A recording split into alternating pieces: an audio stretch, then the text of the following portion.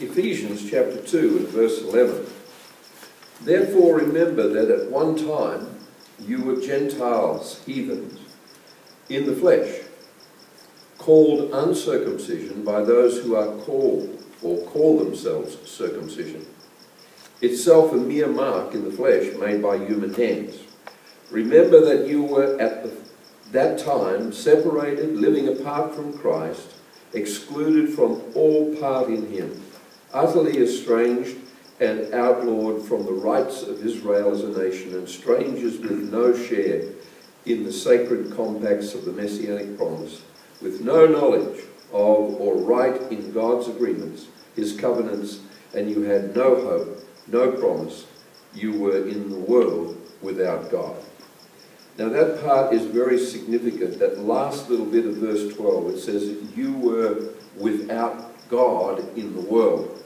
And so he's writing to the Ephesians, who were Greek, and they were not in any way associated with the covenant promises that God had made to Israel.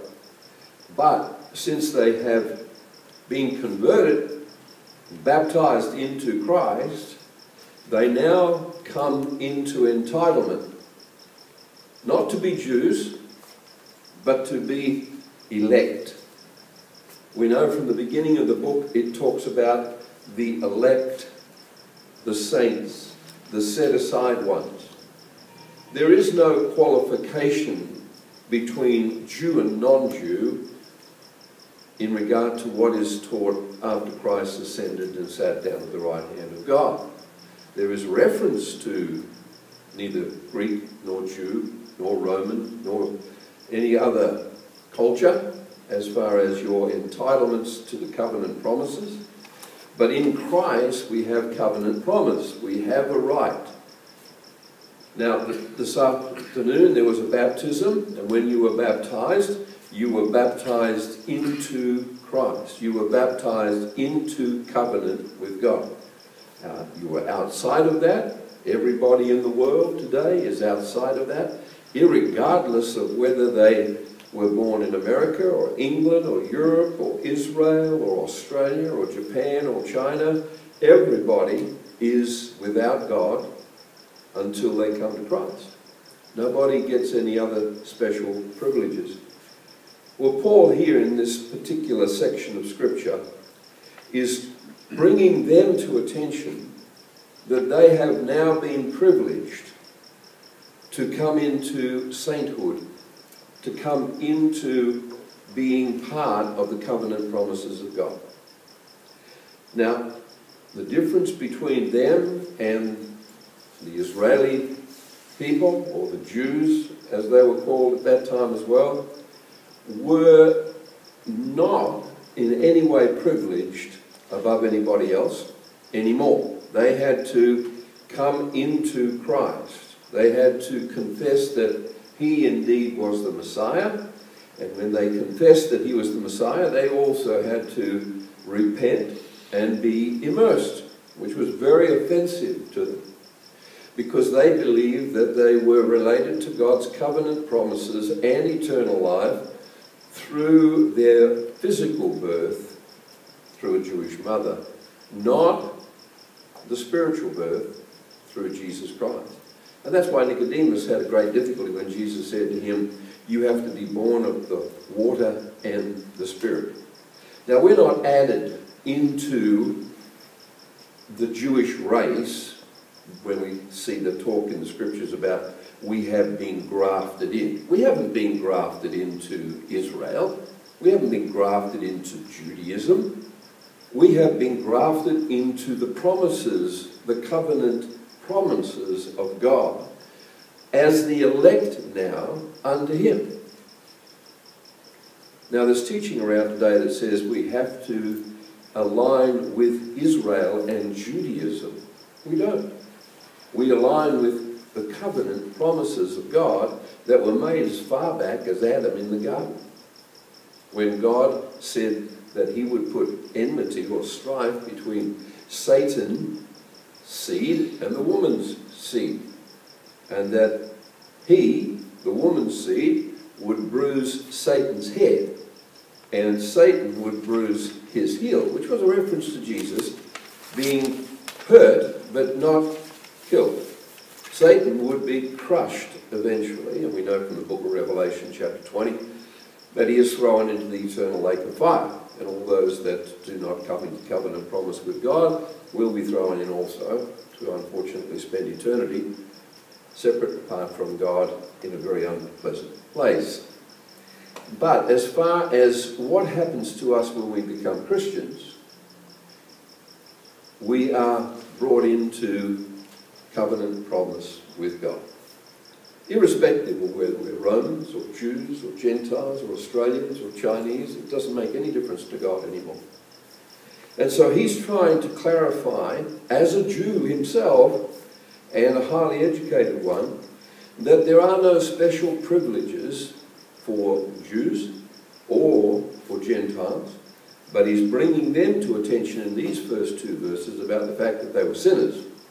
And so we need to be looking at this and saying, well, what are we going to tell people about the gospel? Well, the gospel is the good news that sinners are saved and brought into covenant relationship with God. And so here in verse 11, he says, because of all that's mentioned in verses 1 through 10, and that you are seated at the right hand of God already, this is what happened to you. Therefore, remember that at one time, now when he says at one time, he's saying your past was this way, but your present is now this way. So we must realize that we have been totally delivered from sin. We've been totally delivered from the power of darkness. We've been totally delivered from the power of the evil one and the reign of sin over our lives. So he says, one time you were heathen or Gentiles.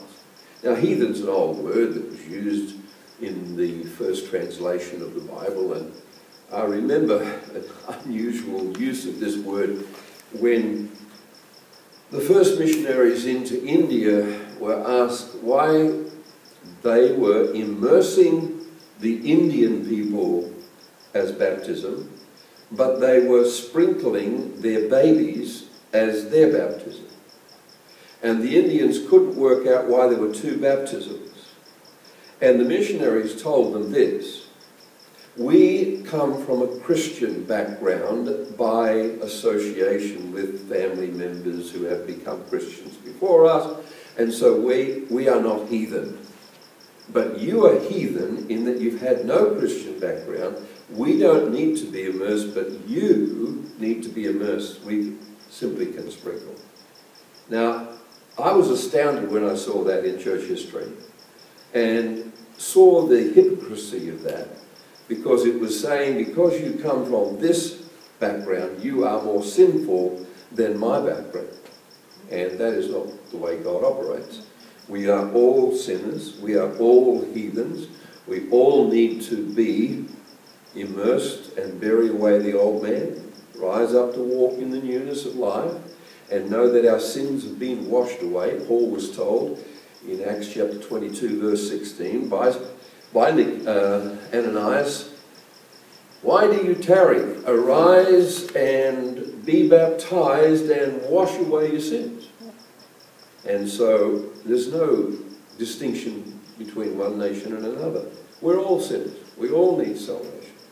And so he clearly states to these Gentiles in Ephesus that yes, they were heathen, but remember they've changed. Be remembering that you're new in the flesh, called uncircumcision by those who are called or call themselves circumcision. In other words, the Jews who had come into covenant relationship with God through circumcision at the eighth day and were the circumcised nation were saying to these Gentiles who had not been circumcised, you have no relationship to the covenants of God because you were not circumcised on the eighth day.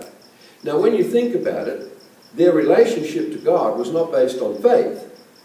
It was based on the faith of their parents who, who uh, circumcised them on the eighth day.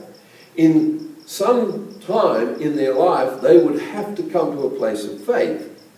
Now, they would learn the word through their parents, they would learn the rituals through their parents, but they still had to make a heart decision by faith to believe in God.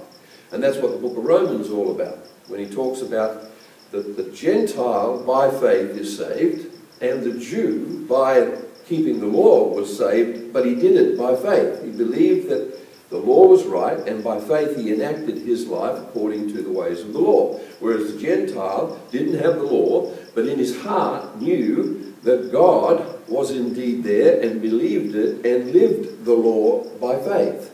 But he didn't live it by knowledge. And so here you've got the Jews saying to the Gentiles, you have no relationship to God because you haven't been circumcised. Now, the Galatian letter, specifically that Paul wrote, was about this issue.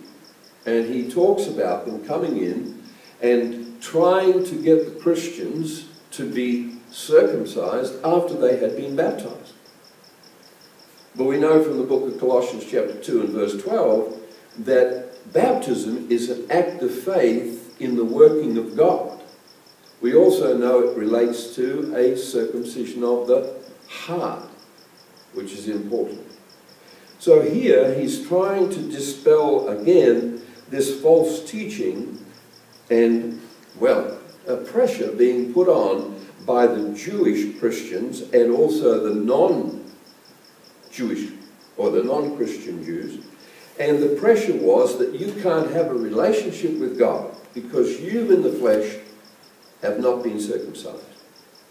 And so he's dealing there with the flesh aspect and the troubles that were going along with the church and those who were of the Jewish faith that had come into Christianity, or maybe some of them hadn't. Called uncircumcision by those who call themselves circumcision, itself a mere mark in the flesh, made by human hands. It has no worth whatsoever in regard to um, religion as they would understand it. He says, it means nothing to you, Ephesians. It may mean something to the Jew because God asked them under the old covenant to circumcise the child on the eighth day. The eighth day being significant because the blood begins to coagulate on the eighth day. It does not before that. So if you circumcised a young baby of four days, they would die in those days. Today they do it and uh, they can stop the blood from flowing away. But in those days it was important. It was on the eighth day. But it also marked them as God's people in the Old Testament times. But in the New Testament times, what marks a person as God's is that they have a covenant relationship through belief, repentance, confession, and baptism by immersion. And that baptism is so significant because it is in its own right a circumcision of the heart, a removal of the flesh, like in, in circumcision. It's a cutting off of the flesh and removing the flesh. But he says this is all of the body, remembering that we're three-part people. We're spirit, we're soul, and we're body as I said this morning, uh, C.S. Lewis, he said that we are not a body with a living soul. We are a living soul with a body because it's our soul that goes to be with the Lord and our spirit that goes to be with the Lord. And one day we will have a glorified body like Jesus has at this present time. We will be like him. So his introduction here from verse 11 on is to deal with this issue of legal pressure and religion coming against the Ephesians. He wants them to be free. He wants them to live in that freedom that they have in Jesus Christ. Remember that you were at that time separated, living apart from Christ, excluded from all part in Him, which is a, a requirement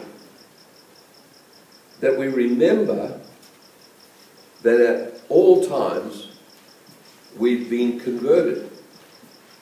So remember that you were at times separated, living apart from Christ, excluded from all part in Him. utterly estranged and outlawed from the rights of Israel as a nation. So he's reminding them to be reminding themselves that yes, indeed they were heathen, yes, indeed they were cut off, yes, indeed they were not in the elect, yes, indeed they were not in those who had been set aside or sanctified by God because they were related to him through the circumcision of the flesh and the keeping of the law. And he says, yes, that's the way God was doing it up until this particular time. And from this time on, we are relating to God through circumcision of the heart, not circumcision of the penis. And so he wants them to remember that they were separated. He doesn't want them to forget that. And we must not forget that, that we were separated from God. We were separated from the covenant promises of God. And here he says, even more so, you were utterly estranged and outlawed from the rights of Israel as a nation, and strangers with no share in the sacred compacts of messianic promise, with no knowledge of or right in God's agreements, his covenants. So they were uncovenanted. We are not covenanted to God in the Word. Everybody outside of Christ is no longer covenanted to God. If you're not in Jesus, then you have no relationship to God. Whether you're a, uh, an English person, a French person, a Chinese person, a Jew, Australian, uh, Syrian, it doesn't make any difference to God anymore, whether you're circumcised or not circumcised in the flesh. What relates to Him is your being in Christ. And you remember in the chapters 1 and 2, it's constantly about being in Jesus, in Jesus, in Jesus. No one is predestined by God and saying, well, you'll be saved, you'll be lost. God has predestined Jesus, and we get in Jesus. And Galatians 3.27 says we're baptized, immersed into Jesus. It doesn't say we believe into Jesus, repent into Jesus, confess into Jesus. It always says we are baptized into Jesus. So when we come into Him, we are now related to God's promises. Every one of us. We're all in that situation together. And it's got nothing to do with your physical birth in regard to which country you were born in. Here, all the promises were revealed to Israel. We know that from the Old Testament. It is the master to the new. It's a schoolmaster to the new. But it doesn't mean it overshadows the new. It simply says it teaches us how to understand the new. Because the New Testament looks back retrospectively. And in the Old, you look forward. So that's why there's a lot of quotes in the New Testament from the Old Testament. But the same message is there. God wants to have a covenant relationship with you. And he wants to have a covenant relationship with me. Now, what does all that mean?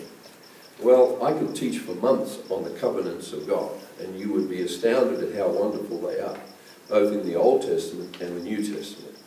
And they relate to the promises that God has made in the Word of God. Some lady on a sick bed once counted them all, and there are 37,000 of them in the Old and the New combined. So the wonderful thing about that is that Jeremiah says that God watches over his word to perform it. And therefore, if God is watching over his word to perform it, and I plead the promises of God in prayer, and I bring them to his attention in relation to my life, I know that he's watching over those promises to keep them, make them come to pass. Now that doesn't mean I can go to him tomorrow and say, you know, I'd like to get involved in this prosperity doctrine stuff and I'd like a million dollars in my account, a new car down the road, a new house and aeroplane ticket to go to New York for the celebrations during the Christmas parade and all of that sort of thing. It's not about that at all. It's about when you're out there doing the works of the Lord, and you're on the move in Christ with Him, you know that He's going to provide according to His promises. So if He says you go out there and you seek the lost in this particular place, He doesn't say sit down and count how much money you've got in the bank and how many cars you're going to need and all of that sort of thing. He simply says go. And we know from Matthew 10, He promises to provide. So I just got to go. I know He's going to provide. I've been doing this for a long, long, long time, nearly 50 years, and I know that God continues to provide. Always continues to provide.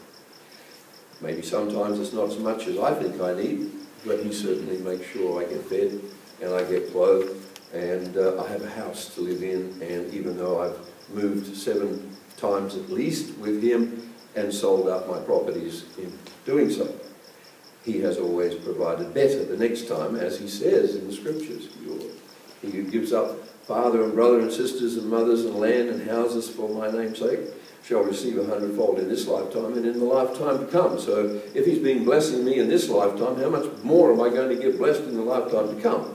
Well, I'll find that out if I remain faithful and continue in serving him. Now, all of those things are contained in the promises of God, contained in the covenant promises of God. And I can plead those because I have a relationship with him now. And I'm doing it outside of Judaism. I don't have to come to God in Judaism. I only have to come to God in Christ. And so when he's talking to the Ephesians and he's saying, don't listen to the circumcised ones, don't listen to the Jews who are telling you that you have no covenant relationship with God, because you do. Remember, you were outside, but now you are part of the elect. But now you are part of the covenant promises because you're in Jesus, not because you have circumcised yourself. Then he goes on and he talks there about with no knowledge or right in God's agreements. Well, they had to learn and understand what God's agreements were. Now, the good thing about that is that God gave us the Holy Spirit. And we know from the book of Isaiah, chapter 30, that God said the Holy Spirit would be given to us and we would hear on our right side and on our left side which way to turn. And so the Holy Spirit is given to me and He knows the law because He wrote it. He knows the covenant promises of God because He wrote them down. And if He's going to be my God and my leader, what's He going to do? He's going to take me to where it's holy. So if I listen to the Spirit within me every day, I know I'm keeping the covenant promises. I know that I'm following the right way of the elect. I don't have to memorize the Torah, as it's called. I don't have to memorize all the Old Testament laws. I just have to read the Word, love the Lord with all my heart, mind, and soul, and as He leads me through His Holy Spirit, go in that direction, and I'm pleasing Him. Not to get saved, but because I am saved. I now have a new leader in my life. Satan isn't there, he's tempting, but he's not my leader anymore. When I was of the flesh, as he talks about there, and I was a heathen, outside of the promises of God, outside of the election of God, he was my boss. And this is why people, when you're talking to them about Jesus Christ and becoming Christians, don't want to know about it and get angry because they like their boss. They love their sin and they want to keep it. It's as simple as that. And I tell people that. I don't have a problem telling people that when they begin to argue about the fact that they're lost and they need to be saved.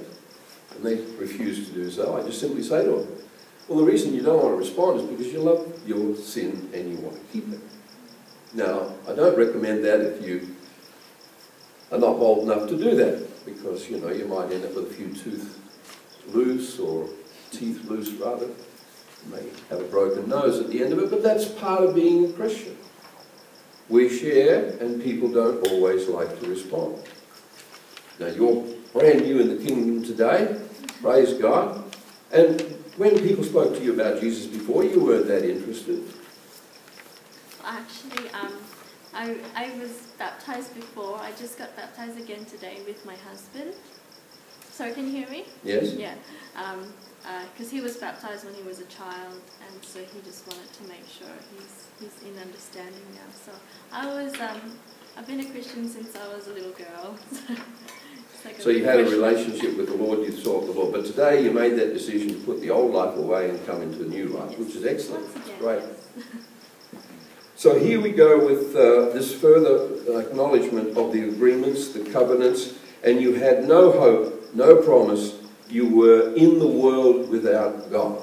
Every person out there is in the world without God. Now, they may believe in God, and the first thing you find that uh, about people is when you start talking to them about God, they'll have their concept of God in some way. There'll be atheists, supposedly. There's, I don't believe there are atheists out there because they wouldn't have a premise to argue about if there wasn't any description or presence of God. So we won't go there. But when you talk to people about God, they will give you no problem with that. They will, they will discuss that with you. They have their own concept of God. But when you bring them to attention about Jesus, they don't want to know about that. That's a different issue altogether because they have to then be accountable on what they believe about the virgin birth, what they believe about the resurrection, what they believe about the sin that he told them they had. So never talk to people about God. Always talk to them about Jesus.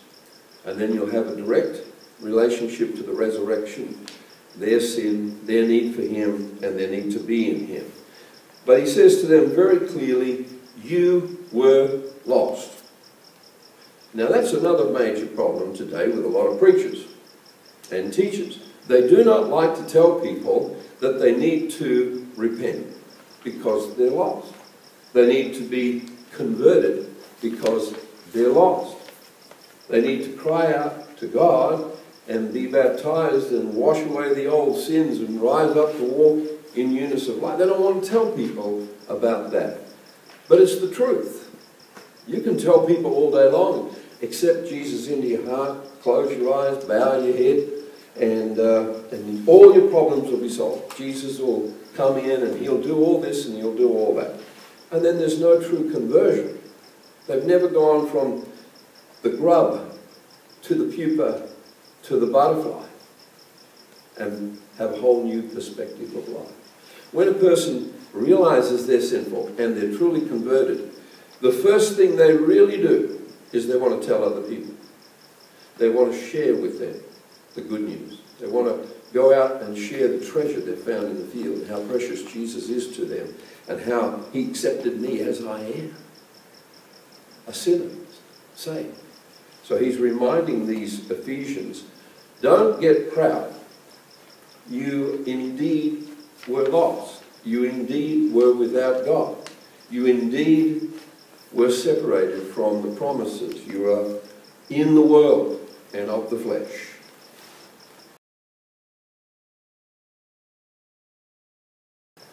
Verse 13. But now in Christ Jesus, notice that again. But now in Christ Jesus. Here we have that reference again to in Christ Jesus. All the way through chapter 1, all the way through chapter 2, all the way through the book, he's referring to a place that we're in. Nothing is going to happen outside of that. You have no relationship to the promises, the covenants, whether they be of the Old Testament or the New, if you're not in Jesus. You will not be saved if you are not in Jesus. And that's the whole idea of Christ coming into the world was to bring us before the Father in Him. Because God's not satisfied with you. He's not satisfied with me. He's not satisfied with what we can do. He's not satisfied with how many times we go to church. He's not satisfied with how many times we witness to the gospel. That's got no impression on God whatsoever. But he is desirous of one thing, that we be in Christ, because in Christ God is absolutely, utterly, totally, completely satisfied with you and me. And when he looks upon us, he doesn't see you and me, he sees Jesus which is absolutely essential. So if we're going to come into the presence of God, we'd better not come in there without the great intercessor Jesus Christ. From Hebrews chapter 7 verse 25, he says that he always, forever intercedes for us. So I am in Christ. So I know when I die, I'm going to be welcomed into the house of God, not because of who I am or how many Sunday nights I taught or how many times I preached or whatever, but because I'm in Jesus. That's all God's interested in. That's all that God's going to see, is my place in Him. And so when your CD, which is your soul, is revealed before God, that is everything about you is revealed before God, the judgment comes through Jesus. Every knee shall bow unto Jesus. God's appointed him to judge the world. And so I know that I'm in him, and he knows that I'm in him, and therefore I can have a wonderful faith in my life and be absolutely assured that I'm going to heaven. As I've said before, I've sat with a lot of people in nursing homes in the last days of their life who've attended church faithfully for many years but never really read the promises and studied the promises of God. And they say to me, Brother Bob, I'm not sure whether I'm going to make it. I'm not sure whether God's going to accept me. How faithful have you been? Well, I've been, I've been faithful. I've been a Christian for 60 years. Well, I'm just not quite sure. My goodness me, why haven't you been rejoicing for 60 years in the place you are, which is in Christ? You missed out on 60 years of fun. That's a waste, absolute waste. The angels in heaven rejoiced the day you repented and got saved. My goodness, heaven had a party. And that's going on all time. It's 200,000 odd people get saved a day. They're throwing a big party up there for you and me because we got saved. So we worry about, I'm not sure, um, you know, uh, and live a miserable Christian life instead of a good Christian life. Get out there and share the gospel. So he says to them, But now in Christ Jesus, now this is what you have in Christ Jesus.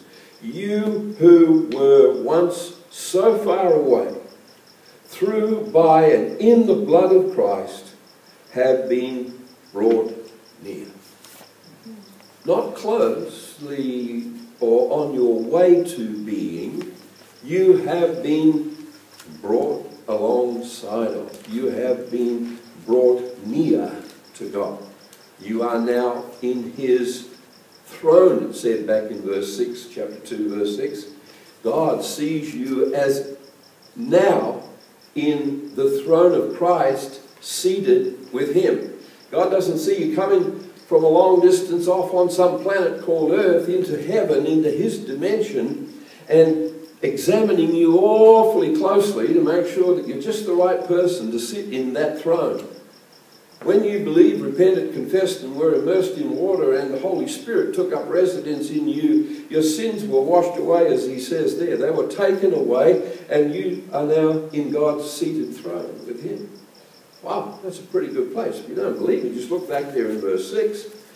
And he raised us up together with him and made us sit together, giving us joint seating with him. My goodness, that's pretty solid, isn't it? In the heavenly sphere by virtue of our being in Christ Jesus, the Messiah, the Anointed One. We're in His sphere. We're in His throne. Not sometime in the future, but now. So when we rise up to sin and we follow after the flesh in our Christian walk, we're really getting up out of the throne room and doing what we want to do rather than what the Holy Spirit's leading us to do, in a sense. We're not condemned, but God would prefer we didn't do that because we can go on and have all of the things that are associated with Jesus riches, glory, honor, power, strength, might. They're all referred to in Revelation chapter 5. And exercise them in the world. When God wants us to go and do something, pray for the sick, deliver people from demons, preach the word, share the gospel, whatever He wants done, He promises to provide for and empower us to do. Why? Because we're in his son. We're pretty powerful people. We need to uh, grasp that. Then he goes on, he says, far away, through, by, in the blood of Christ, we have been brought near. Now, in the Bible college, I've often asked this question. How do you know you're saved? Without the scriptures.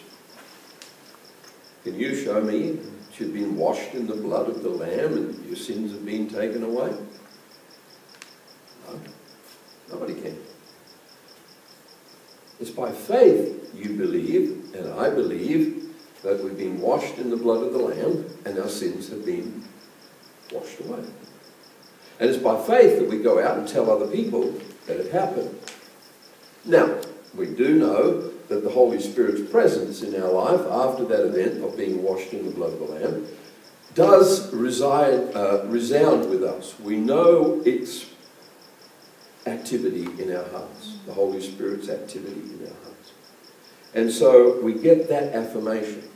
But for me to here, stand here tonight and prove to you that I have had my sins washed away in the blood of Jesus, I cannot do that. I can't do that. But I do by faith believe it. So he's saying to the Ephesians here that in Christ, remember, you were washed in the blood. How often have we sung that song? Maybe not too many people today, they sing too many modern songs. But there's an old song, Washed in the Blood. We've been washed in the blood. And it's true. And it's a time of rejoicing. It's a time of assurance. So he's saying here, the blood of circumcision of the flesh means nothing. But the blood of the sacrifice of Christ means everything. And so he wants these people to turn away from their fleshly religious ways and not be influenced by those who are practicing fleshly religious ways, which was the Jews, and turn to Christ and allow Christ to be their authority. Allow Christ to be the power and might in their lives. Be assured. And he goes on now further in that and asks them to look away from religion to relationship.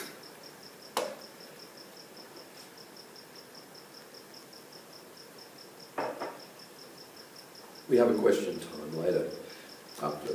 So if you've got questions, just write them down and we'll have uh, 15, 20 minutes of questions. Verse 14. For he is himself our peace. We'll just take this in little sections. He is our peace. One of the most disturbing things I find with Christians is they oftentimes don't have a place of peace in their lives. But the scriptures clearly define the fact that the day you were saved, the day you were saved and washed in the blood of the Lamb, everything became new. Old things passed away. Everything about your whole history of life was removed. Not a portion, not some generational thing going down five families, etc. But you were totally, absolutely, utterly separated and removed from your past, as far as God was concerned. Now, living that fact brings peace. Because if you're a person who has gone through distress and trouble of mind and anxieties, etc., and depression, the day you come into Christ Jesus is the day a new boss takes up control of your life, and he's called the Holy Spirit.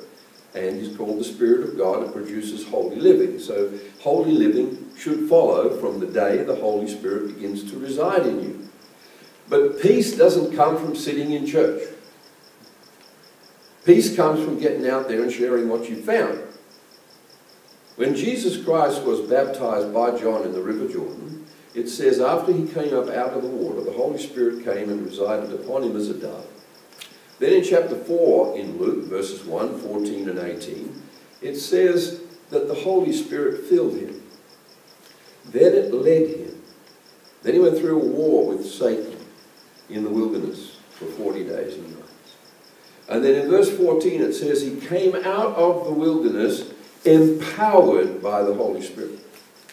Then he went into his own synagogue, where his family and friends were all gathered, and he stood up and he read from the book of Isaiah and said, Today the scriptures I've just read have been fulfilled in me.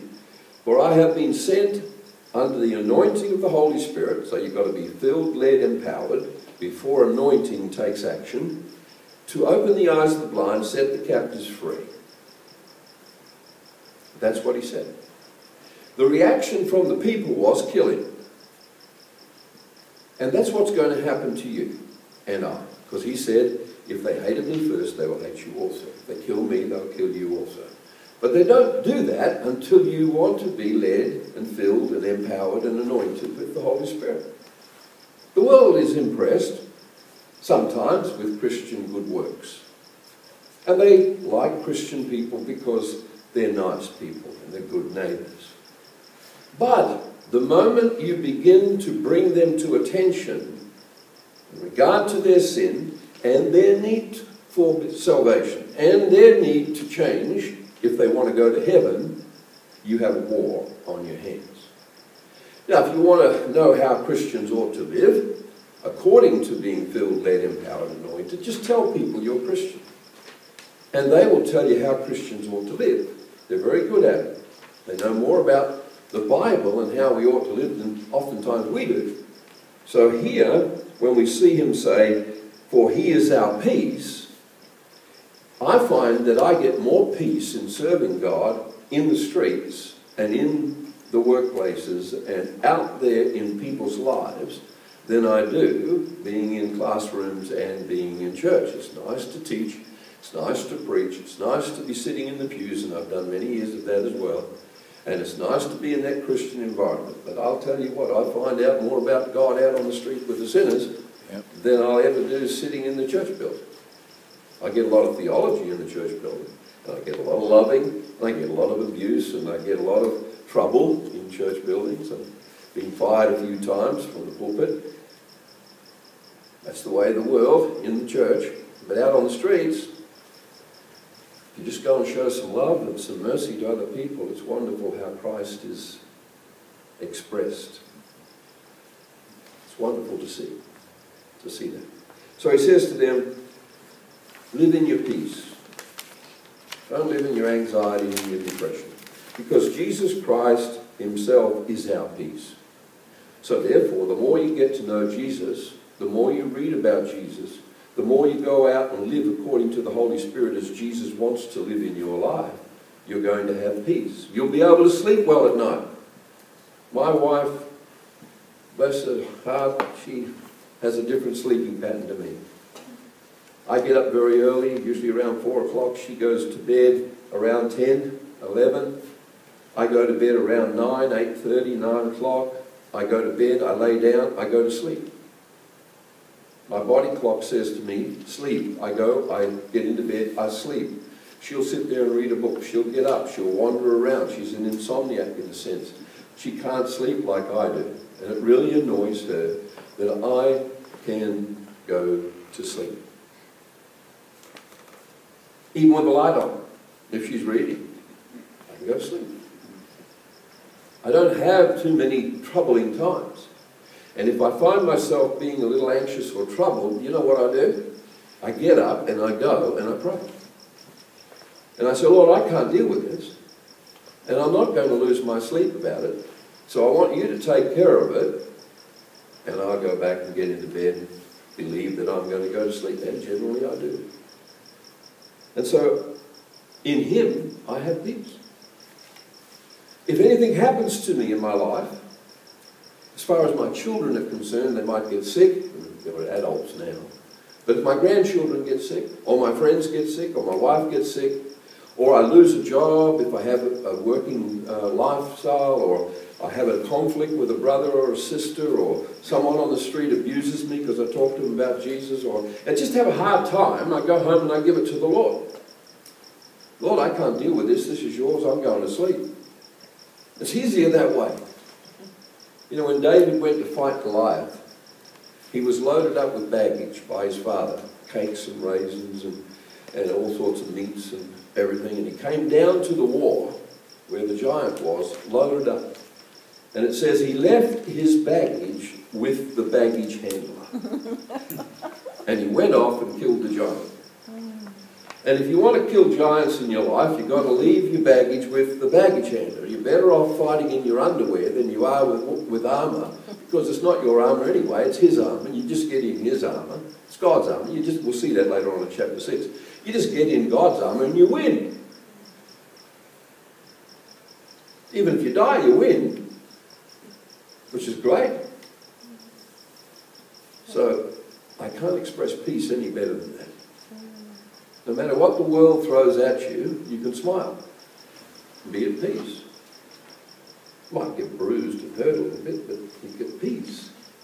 He goes on, he says, Our bond of unity and harmony, which is what we have in peace. When you have a good bond with God and you have unity with your brothers, you have this harmony.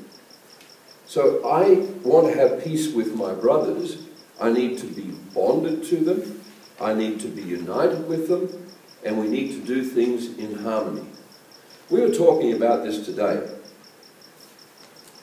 One lady said, You know, when I, I find the most exciting thing happens in Christendom is when all different denominations come together in a town and we work in unity to accomplish some particular task.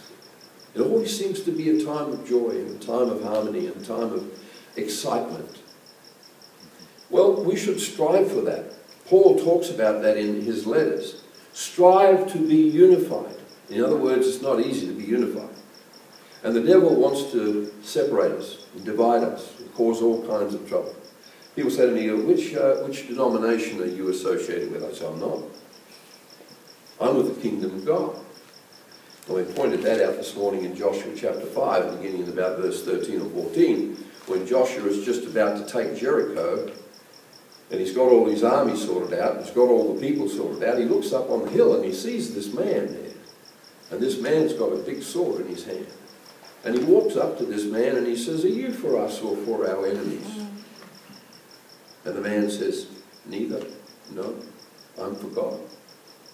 Joshua falls down at his feet and says, I'm the servant.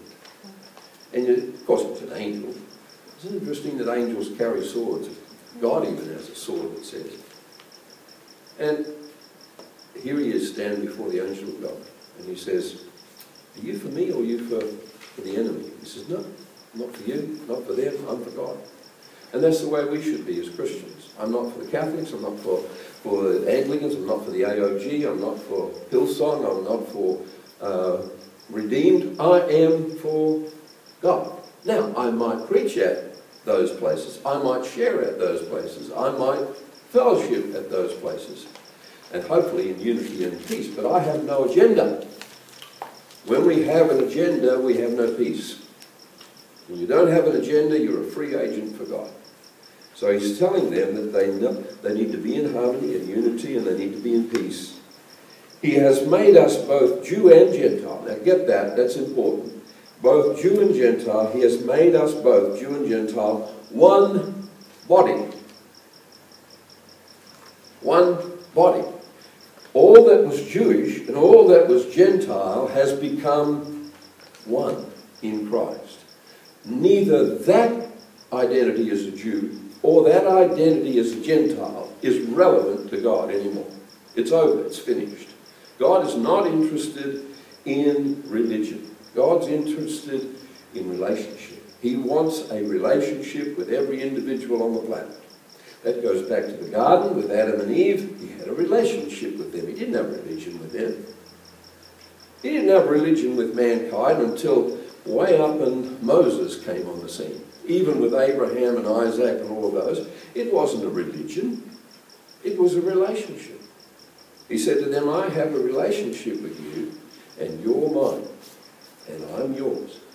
And when you let God, me be God in your life, when you let me act as God in your life, we are going to get somewhere. It took Abraham 30 years to learn that principle. And then when he said, Will you let me be God in your life? And Abraham said, Yes in Genesis chapter 17, he said, then good, go sacrifice your son for me. Uh, I didn't really want to take that, uh, that seriously, actually, that relationship you wanted with me. You really sure you want me to do that? Abraham didn't say that. Abraham took his son, who was about 12 years of age, and enacted the crucifixion. He put the wood on his back, he walked his son up the hill, just like Jesus, went on his back, up the hill, laid him down, went to kill him, and a ram appears in a bush. God sends the angel, the angel says, don't kill yourself. But the day Jesus walked up on the Golgotha with wood on his back and was laid down on it, pinned to it, God turned his back on the world and the sin of the world that Jesus was going to take upon himself, and they raised him up. So he took away the four curses in the garden the curse of death, the curse of nakedness, the curse of the thorns, and the curse of, what was the other one? Nakedness, death, tree. Ah, curse of the tree. Right? Don't touch the tree, you die. Eat of the fruit of the tree, you die. So Jesus put on a tree and took away those four curses. Wonderful. That's the gospel. So when he did that, he took away also religion. And so the relevance to being circumcised in the flesh and the relevance to not being circumcised in the flesh was done away with in regard to us being in the body of Christ. So he's saying to the Ephesians, and he's saying to the Jews who were there at that time causing the Ephesians an anxiety about this, it doesn't matter anymore because he's made both Jew and Gentile one in Christ Jesus. So if a Jew is not in Christ Jesus, they're not saved. Mm-hmm. If a Gentile is not in Christ Jesus, they're not saved. Nobody has a special election before God anymore. Yet there are many who are beginning to teach that the Jew is special and we are secondary. And we are not as special as the Jew, but we're added to the Jews. I don't believe that. I don't think the book of Galatians is, is about that, nor the book of Romans is about that. There is nothing I see that says we are two separate bodies. I see this, which says we are one in Christ Jesus. Roman, Jew, Gentile, Australian, Chinese, whatever. We're all one in the same body through Christ. No difference. And then he goes on and says, and has broken down, destroyed and abolished, which is what I just said, the hostile dividing wall between us. So any dividing wall between Gentile and Jew has been broken down, has been removed. Because God has taken the wall down between us, sinful, and Him, holy, which we could look at as being the curtain in the temple, split from the top to the bottom. And it doesn't say we go in to the presence of God. It says he becomes Emmanuel, which is he comes out to be with us. That's what it means, God with us. So when that curtain was torn by God, which was 14 feet high and a number of meters wide and four inches thick and laced with gold and all that sort of stuff, when that temple curtain was rent from the top to the bottom, God came out to be with his people. Emmanuel came into being. And so it's not a special religious privileged people that have a relationship with God and everybody else is second rate. Everybody is one body in Christ because God has abolished all that was religious.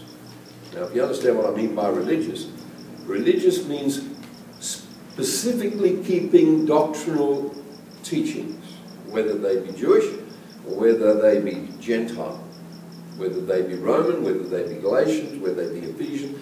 But today, unfortunately, we see that in Christendom. We see a whole range of denominations. And denominations are a dividing problem in Christendom. They actually divide the one body. Because what that is, person is saying, if they belong to a particular denomination, is Salvation is by the blood of Jesus and what we do in our church. You ever thought about that? That's what it is. Salvation is the blood of Jesus and your keeping the Ten Commandments and meeting on Saturday. Salvation is the blood of Jesus and your having three songs, scripture reading, Lord's Supper, two songs, one prayer, sermon, one prayer, we all go home. You don't do that, you're not saved. Or you can't sing without music. You've got to sing with music. Or you, you sing with no music. So all of this adds up to salvation? No. It simply says we're one body in Christ because of the blood of Jesus, not because of which church we attend. I'm a kingdom person, and that means I'm in the kingdom of God. Jesus never came preaching any particular religion or any particular church. Church is merely the gathering of kingdom people. What Jesus came preaching was repent and be baptized because the kingdom of God is coming. John preached repent and be baptized because the kingdom of God is coming.